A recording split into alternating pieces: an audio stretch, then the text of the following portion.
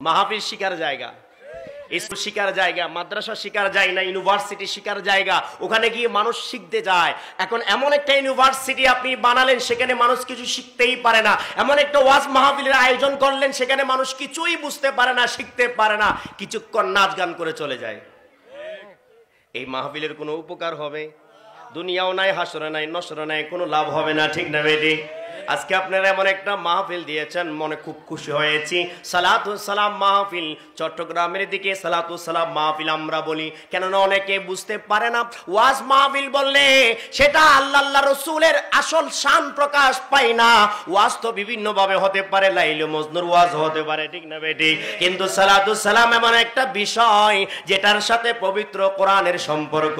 তাই বলছিলাম, আমার সাথে একটু কথা বলবেন, তাহলে আপনারা বুঝতে পারবেন আমিও বুঝে নেব আপনারা বুঝতে পেরেছেন ঠিক না বে ঠিক? আল্লাহর কোরআন বলছে আল্লাহ এবং তার রহমতের ফেরেশতারা তার হাবিবের উপর কি পড়েন? কি পড়েন? সকালে। শুধু সকালে? সকালে? বিকালে। আল্লাহর জন্য কি সকাল আছে? মুরব্বীর একটু বল। সকাল আছে? আমার জন্য সকাল বিকাল আল্লাহর জন্য সকাল বিকাল নাই। আল্লাহর জন্য রাত দিন নাই সবকিছুই সমান। সব থেকে আল্লাহ পবিত্র। আল্লাহর জন্য রাত দিন নাই, সকাল নাই, সন্ধ্যা নাই। আল্লাহর জন্য রাতের সাড়ে এগারোটার বারোটা নাই। আল্লাহর জন্য কোনো টাইম নাই, নির্দিষ্ট কোনো সময় নাই। আল্লাহর জন্য কোনো স্থান নাই। আল্লাহ স্থান থেকে, সময় থেকে সব কিছু থেকে আল্লাহ পবিত্র। লাইসা কামিসলিহি শাই। আল্লাহ কোরআনে বলছেন আল্লাহ এমন এমন আল্লাহ যে আল্লাহর কোনো বস্তু দিয়ে উপমা দেওয়া যায় না এক্সাম্পল দেওয়া যায় না, উদাহরণ হয় না, আল্লাহর সাথে কোনো কিছুর তুলনা চলে না।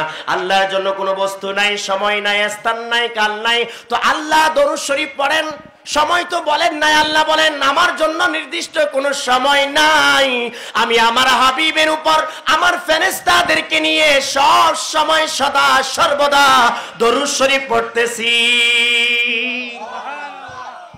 প্রিয় নবী, দুনিয়াতে আসছেন পাঁচশো সত্তর খ্রিস্টাব্দে। ঠিক না বেঠিক?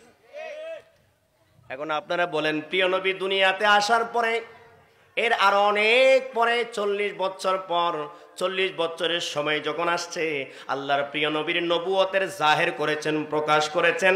আমি একজন আল্লাহর নবী, আল্লাহর রসুল, সর্বশ্রেষ্ঠ রসুল, সকল রসুলের মূল রসুল, আমি আল্লাহর রসুল। আল্লাহ ছাড়া কোনো ইলাহ নাই, যখন একটার পর একটা বলতেছেন, তৌহিদের এলান দিচ্ছেন, রেসালতের দাওয়াত দিচ্ছেন কলেমা তৈয়বার দাওয়াত দিচ্ছেন। এভাবে দিতে দিতে দিতে প্রায় তেইশ বছর যাবৎ পবিত্র কোরআনের বিভিন্ন আয়া শরীফ নাজিল হয়েছেন। ঠিক না বেঠিক ঠিক কিনা? তেইশ বছর কোরআনে পাকের বিভিন্ন আয়া শরীফ নাজিল হয়েছেন। কি বলতে চাই গভীর মনোযোগ? আল্লাহর প্রিয় নবীর উপর আল্লাহর প্রিয় নবী দুনিয়াতে আসছেন, চল্লিশ বছর হলো, তারপরে তেইশ বছর কোরআন নাজিল হয়েছেন। অনেক পরে এসে আয়াত নাজিল হলো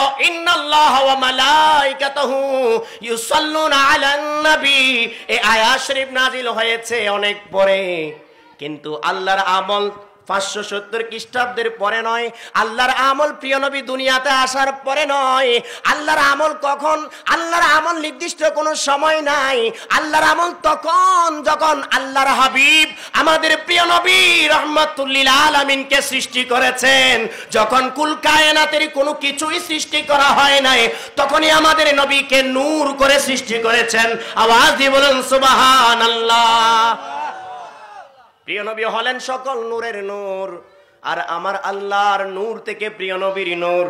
আমি বলছি না কোরআন বলছে কদ জাআকুম মিনাল্লাহি নূর। আরও জোরে বলেন না সুবহানাল্লাহ। এটা নিয়ে কত যুদ্ধ বিগ্রহ মারামারি দলাদলি কাটাকাটি কত ওয়াজ মাহফিল তর্ক বিতর্ক বহস আলোচনা। আল্লাহর কোরআন আল্লাহর আলোচনা করে দিয়েছেন। আমার নবীকে ডানে বামে, উপরে নিচে এমন কিছু শব্দ দিয়ে, এমন কোন সাধারণ শব্দ দিয়ে তোমরা বলিও না। আমার নবী সৃষ্টির কারও সাথে তুলনা হয় না। স্রষ্টা হিসেবে আল্লাহ তুলনাহীন, সৃষ্টি হিসেবে আল্লাহর রসুল তুলনাহীন। আল্লাহর রসুল তোমাদের কারও মতো নয়। আল্লাহর রসুল তোমাদের কারও মতো নয়। মানুষ যখন সৃষ্টি হয় নাই, তখন আমার নবীর সৃষ্টি। আদম আল ইসলাম সৃষ্টি হওয়ার পর, দুনিয়াতে আসার পরে মানুষের সৃষ্টি। এর আগে দুনিয়াতে মানুষ আসে নাই। কিন্তু আদম আল ইসলাম সৃষ্টি হয়েছে আরও অনেক আগে। বহু আগে আদম আল ইসলামের সৃষ্টি।